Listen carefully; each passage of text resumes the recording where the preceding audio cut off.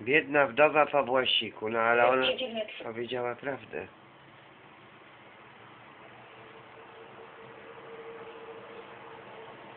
Że w białych rękawiczkach, że więcej niż pewne. No i TP. Taki niesmak, niesmak, nies, niesma, niesmaczne to jest. Jeszcze ta kopacz tam szalała, boże, jaka to idiotka. Oczy ma takie wy, wyłupiaste. Wiesz, kopacz ciągle ktoś ją oskarża, ona się ciągle skutecznie broni, no bo jak lwica. Już mogłoby sobie dać spokój. Po prostu taka skandalistka trochę. Ona lubi to widocznie, tak się bronić, tak się rzucać, miotać. Wy mnie atakujcie, a ja będę wrzeszczała. Kopacz, kopacz. Witamy, kopacz, witamy. Z czego wynika negatywny stosunek Zachodu wobec Pana? Że tak, przed Panem. Przed Rosją.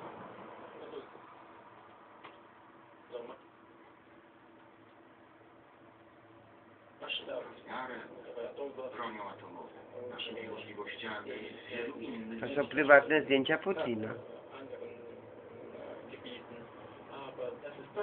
Stare wzorce myślenia. Zachód chce, żeby stosował Pan i akceptował zachodnie reguły. Nie, muszę postępować tak, jak oczekuje ode mnie wojna. On musi tak postępować, widzisz? Tymczasem naród ma różne oczekiwania. Niektórzy od Władimira Drugi Breżniew to jest. niczego. Ja, Putin. To jest drugi Breżniew. Lewo, lewo, sławny. No to właściwie wyzuty z wiary tam widocznie. Syberia. 5 godzin lotu samolotem z Moskwy. Temperatura minus 37 stopni. Konflikty rozwiązuje się tu w tradycyjny sposób. Do najbliższego miasta trzeba lecieć godzinę helikopterem.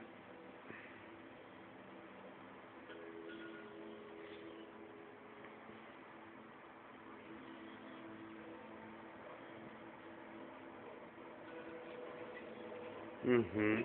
Putin przeznaczył na odpoczynek.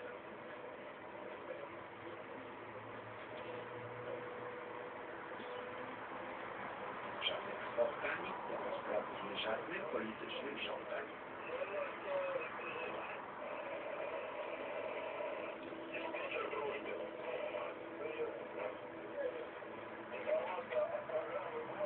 Władimir Putin i jego przyjaciel Siergiej Szojgu, spraw obrony cywilnej i sytuacji nadzwyczajnych, przygotowują się do polowania. Mhm.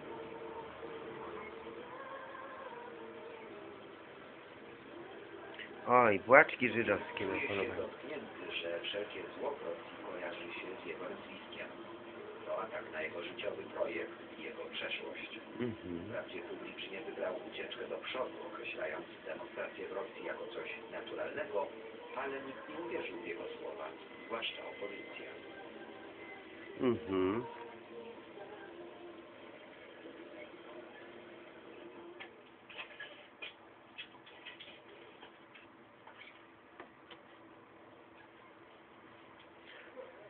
W polowaniu uczestniczą tylko nieliczni, wyłącznie mężczyźni, kilku przyjaciół, ochrona.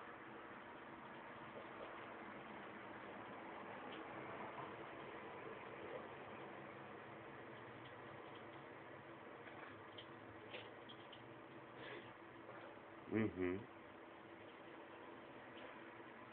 Cisza, dystans i lojalność. Tego potrzebuje w dniach przed wyborami. Sam Władimir Putin nie przypisuje sobie żadnej winy, przynajmniej pod względem formalnym. Z wykształcenia jest prawnikiem.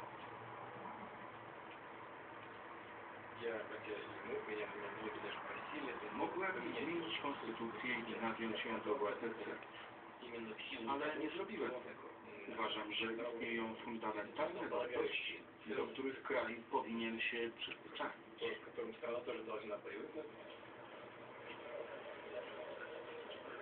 Zebrają się uczestnicy zjazdu partii, na którym Putin po raz trzeci otrzyma nominację na urząd prezydenta.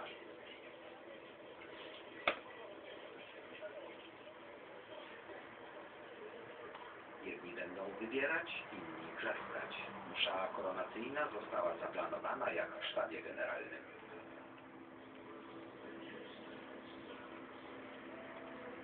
Urzędujący jeszcze prezydent Dmitrij Miedwiediew czeka w szatni na sygnał do wejścia ze swoim następcą i jednocześnie poprzednikiem.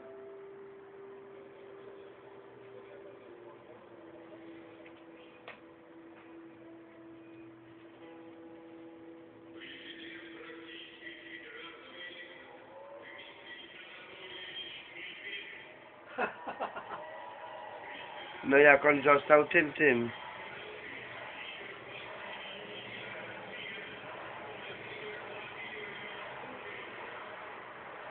Choć najpierw wymieniono nazwisko Miedwiediewa, skasowane okrzyki odnoszą się do Rosji i Putina.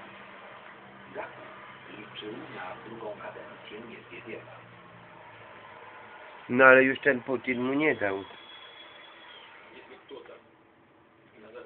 Jeśli na zachodzie stawia na jakieś osoby czy pojedynczych polityków, popełnia wielki błąd. Nie należy stawiać na konkretne osoby, tylko na naród rosyjski.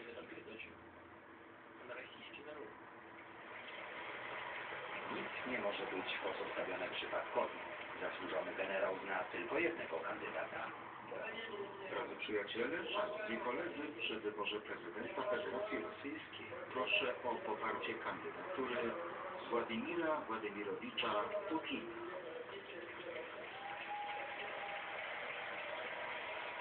Mhm. Młody przedsiębiorca występuje z takim samym apelem.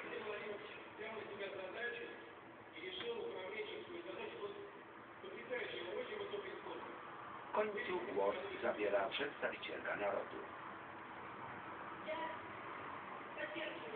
Popieram kandydaturę Władimira Władimirowicza Putina na urząd prezydenta.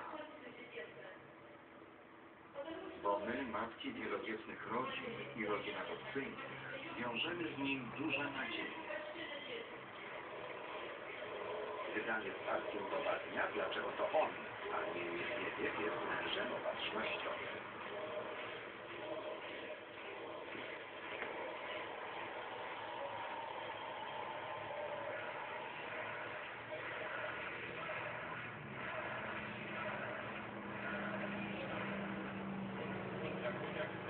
To dobrze, kiedy ludzie skandują Rosja, Niedźwiedziew i Putin.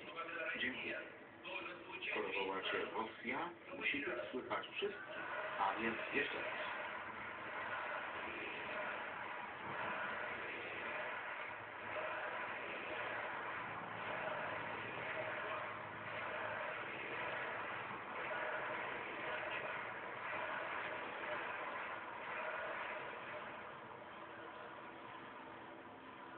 Dziennikarze obserwują tę inscenizację poza salą obrad na monitorach jako transmisję na żywo.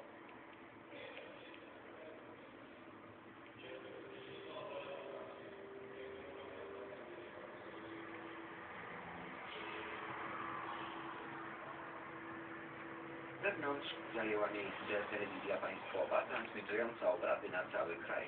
Dziennikarze tylko by przeszkadzali. Partia potwierdza wybór kandydata w 100%.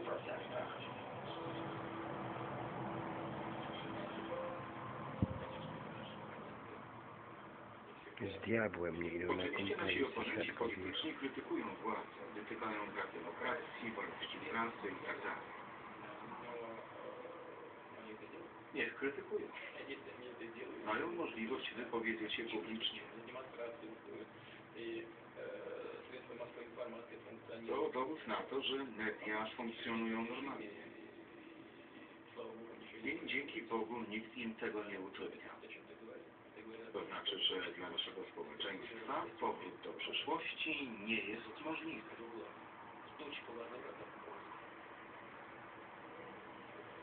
Z tym zastrzeżeniem, że dotychczas żadna inna partia nie mogła na żywo przedstawiać programu swojego kandydata w państwowej telewizji. Mimo wszelkich protestów nikt nie wątpi w zwycięstwo Putina. Dlatego jego przyjaciel, były minister obrony Sergiej Iwanow, udał się na Kreml, by zająć się sprawami administracyjnymi i przygotować powrót Putina na najwyższy urząd.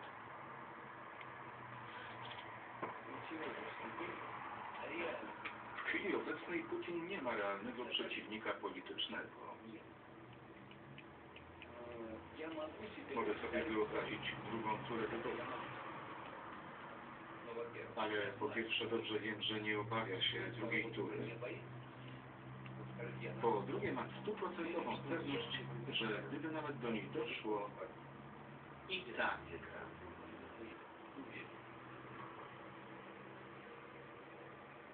Kto ma pieniądze i znajomości, tego wieczoru siedzi w Teatrze Balszoi, który po latach remontu otwiera swe podwoje dla wyższych sfer. To wydarzenie towarzyskie. Mhm. Mm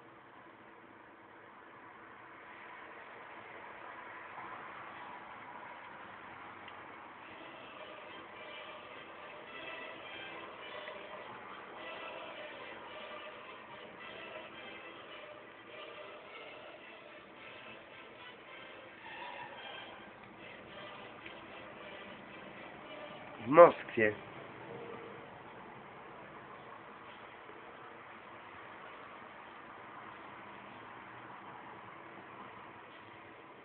Tego rodzaju wydarzenia kulturalne są Putinowi obce. Trenuje hokej na lodzie. No pewnie, po co tam teatr wielki, po co Putinowi kultura, śpiewy. Ponieważ nie jest w tej grze mistrzem, czasem długo trenuje sam w pustej hali.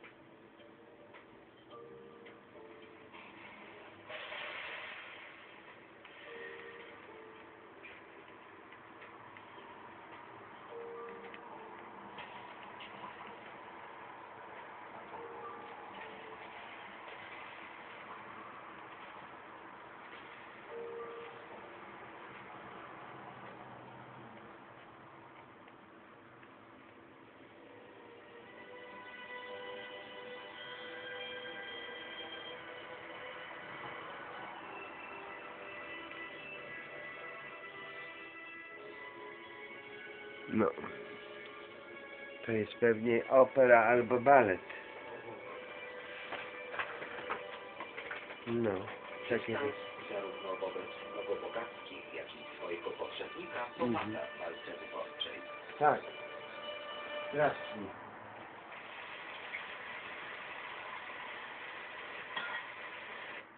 Bardzo ciekawe słyszeć, dowiedzieć się.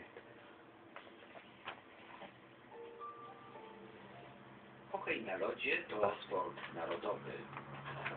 Aha. W 2014 roku w Soczi odbędą się zimowe Igrzyska Olimpijskie. Putin będzie miał wtedy 62 lata. O, Jako prezydent mógłby otworzyć olimpiadę sunąc po błyszczącym lodowisku. Dlatego korzystnie byłoby w miarę stać na łyżwach. W tym celu trenuje nawet godzinami. no i dobrze.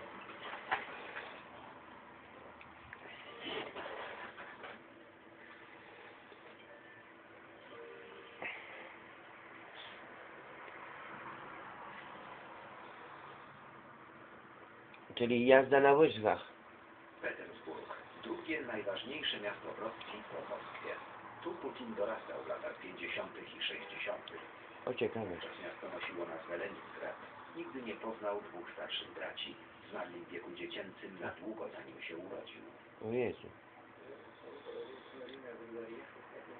Najwięcej czasu spędzałem na podwórku z innymi chłopcami. Wszyscy byli tacy jak ja. Nie było tam A czy ten Putin wie o tym filmie? Ci mieszkali gdzie indziej. Żeby wiesz, nie był wściekły. Prości ludzie z rodzin robotniczych. Przez większość czasu bawiliśmy się na podwórku. Właśnie. Tam rozgrywało się całe życie. Od rana do wieczora, czasami do późna w nocy. Rodzice wracali z pracy i wołali nas do domu. Katolicy są strasznie ciekawi tych takich wiadomości. Mieliśmy 25-metrowy pokój. Mieszkała tam jeszcze trzyosobowa rodzina i kolejne dwie osoby.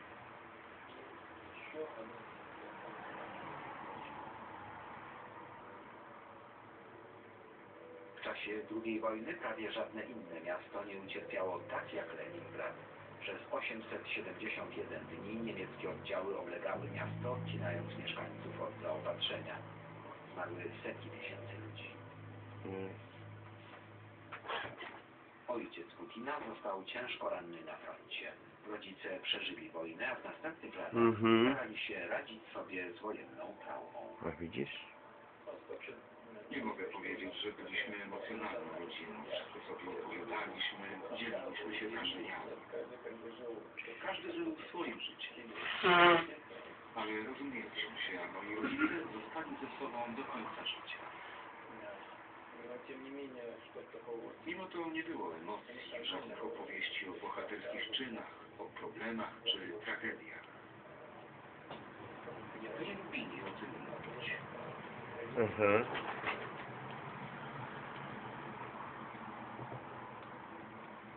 No i tutaj widzisz problem, nie? Bo ojciec zginął na froncie. No ale on miał braci jeszcze i to oni wcześniej z- poumierali.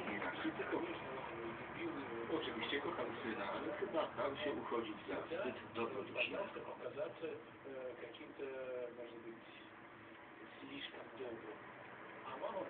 Natomiast matka była uosobieniem dobra. Aha. Starała się unikać konfliktów. Matka zawsze dobra. Ojciec był zupełnie inny, typowy przedstawiciel klasy robotniczej. Mhm. W sali gimnastycznej spotyka się związek judo. Tu Putin zaczynał treningi w młodości. Mhm. Od małego chciał wygrywać. Kierowało nim pragnienie Judo, to on dobry, wyćwiczony jest. Patrz. Balet? Są jasne, bo. On Tak. Balet nie. Tak. Cześć, kolorowy. Tak. tak. Zobacz, on y, startował z 20-metrowego pokoju, zamieszkało go przez trzy rodziny. Aha. Balet nie. Śpiew nie. Chór nie. Tylko takie o. wystarczały, żeby utrzymać przywództwo. Potrzebne mi były instrumenty, żeby zachować pozycję w stadzie.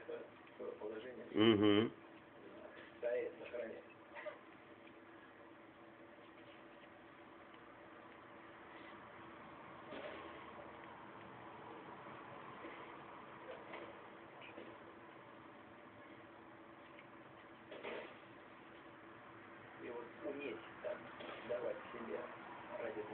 Musiałem dać z siebie wszystko, żeby odnieść zwycięstwo i uzyskać dobry wynik.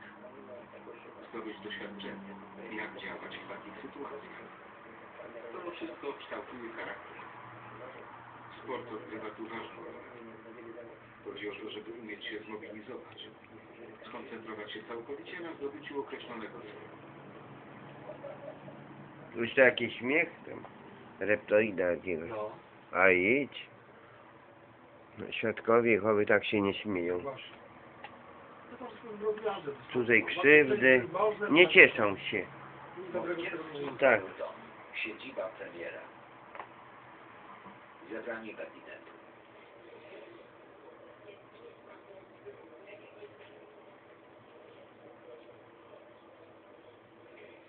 Władimir Putin zazwyczaj pojawia się dopiero, gdy jego ekipa zajęła już miejsca. Członkowie gabinetu wiedzą o tym. W czasach wczesnego Związku Radzieckiego przyjętą koncepcją pedagogiczną było wychowanie autorytarne i to niewiele się zmieniło także w dzisiejszej Rosji. No trudno się dziwić, jak oni są mocarstwem światowym, to jak to tam mogą Tak. Dominuje nauczanie ex cathedra. Nie ma wątpliwości co do podziału ról. Wiadomo, kto jest nauczycielem, a kto uczniem. No to całe szczęście, bo nas nie wiadomo. Tak.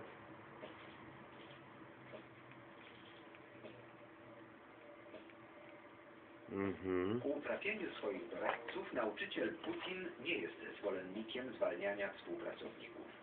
Postępuje lojalnie wobec tych, których wybrał, dzięki czemu nawet niepopularni ministrowie mają szansę przetrwać. Siła Putina tkwi także w tym, że potrafi koordynować rozbieżne interesy ośrodków władzy. No zobacz, to jest spokój pomaga, bo raz kompromis. Tak. No to więc widzisz. No. Nasz gabinet składa się z dwóch frakcji. Jedna opowiada się za silnym wpływem państwa na gospodarkę, regulacją rynku i inwestycjami państwowymi. Druga frakcja to skrzydło bardziej liberalne, które stawia na klasyczne modele rynku i gospodarkę prywatną oraz stworzenie przez rząd przejrzystych reguł gry. O ich zachowanie chodzi Putinowi od początku kariery politycznej, także po rozpadzie Związku Radzieckiego. Mhm. Chce być respektowany jako równorzędny gracz. Mhm. Już w 2001 roku, gdy nowy prezydent przemawiał w niemieckim Bundestagu, słychać było nuty rozczarowania, że po początkowej euforii Zachód traktuje nową Rosję na dawnych zasadach.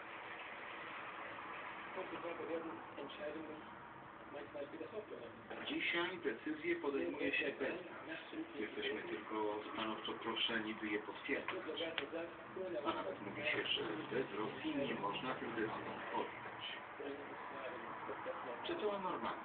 Czy to jest poważne partnerstwo? W rzeczywistości wciąż nie nauczyliśmy się sobie ufać. Mimo wielu słodkich przemówień, potajemnie nadal stawiamy opór. A to domagamy się lojalności wobec NATO, a to sprzeczamy się co do celowości jego poszerzenia. Wciąż nie potrafimy się porozumieć w sprawie systemu antyrakietowego. I tak W pokera lubi w szachy grać. Odkąd NATO ustawia rakiety przy Chociaż może w szachy to nie. demonstruje siłę i zbroi się. Oj, twardy osób do, do będą mówić. Ci, Am- ci Amerykanie. To jest twardy orzech. No Putin. NATO twierdzi, że tarcza rakietowa nie jest wymierzona przeciwko wam, tylko przeciwko Iranowi.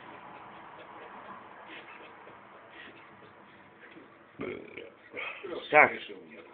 Tak, tak, zgadzam się z tobą, Krystyna Pawłowicz. Kończy się dzień pracy, czas spać.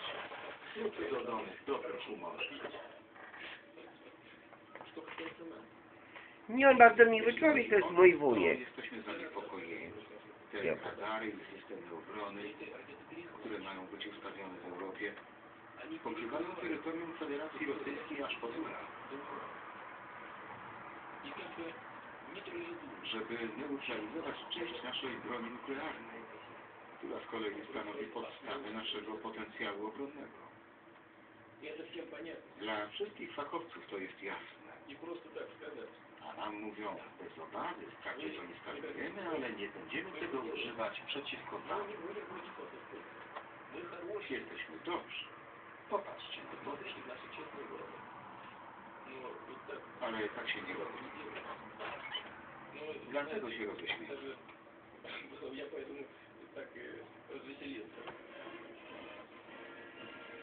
Moskwa świętuje rocznicę zwycięstwa nad nazistowskimi Niemcami. Wizja, że po rozpadzie Związku Radzieckiego nowa Rosja mogłaby się dalej rozpadać, to dla Putina koszmar. O, właśnie. To, że separują się pojedyncze państwa, Tak jak Czeczenia, a największy kraj na świecie stopniowo mógłby tracić znaczenie, przekracza jego polityczne wyobrażenie. Dla utrzymania potęgi Rosji zaryzykował nawet wojnę, w której zginęli tysiące cywilów, ale też wielu rosyjskich żołnierzy.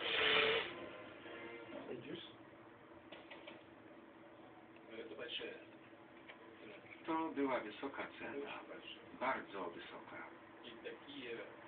Coś takiego na zawsze zostaje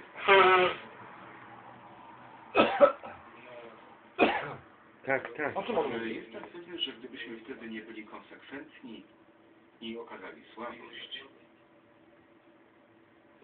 skutki byłyby straszne, a liczba ofiar znacznie większa. Rosja wpadłaby w niekończący się ciąg krwawych lokalnych wojen. Tak. No pokaż. Mielibyśmy drugą Jugosławię. Słuchaj, aby być mądry. Nie jest pan urodzonym dyplomatą. Oczywiście, że nie. Bo Tylko. Bomby rozpryskowe zabijały setki ludzi. Tak. Nie sądzi pan, że próbując zwalczać terroryzm w Czeczenii, zwalcza pan również cywilną ludność Czeczenii? Chce pan zostać islamskim radykałem i pozwolić się oszczędzać, to zapraszam do Moskwy. Jesteśmy krajem wielopostronowym i mamy zdrowych specjalistów. Każe tak przeprowadzić operację, że nikt nie zostanie.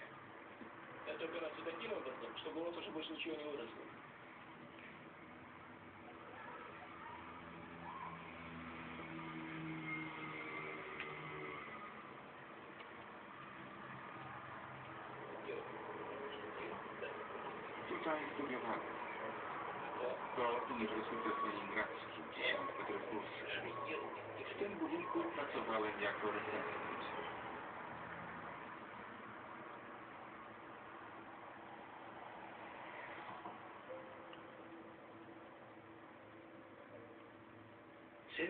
Robotnika Władimir wcześniej zaczął marzyć o służbie wywiadowczej za granicą. Wkładanie się do owianej tajemnicą elity dla dobra narodu i ojczyzny chciał wyjechać za granicę. Dlatego studiował prawo.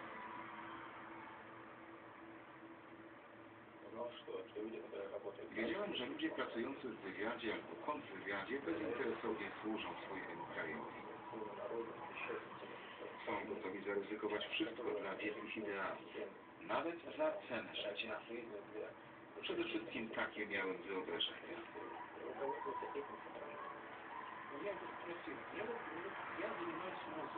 Zapytałem go jako muzyk. Gram na wiolonczeli, znam się na tej dziedzinie. Jaki ty masz cel? Czym się zajmujesz? Partacz. Rozumiem, że dbasz o prawo i porządek. Czegoś strzeżesz albo ścigasz przestępców. Właśnie.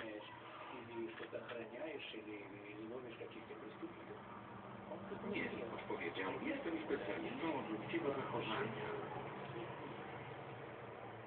Pytanie go o pracę było bez sensu.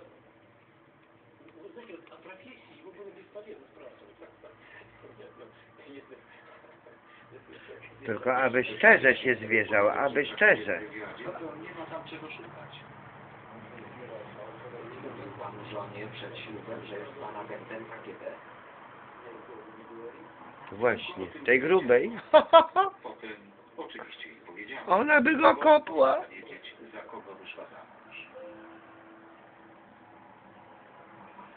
Tylko nieliczni mają w Moskwie taki projekt na życie. Wymarzony zawód agenta stracił blask. Związek Radziecki przestał istnieć 20 lat temu. Dla większości to zamierzchła przeszłość, która z nimi nie ma nic wspólnego. Właśnie. Pożółkła, czarno-biała fotografia.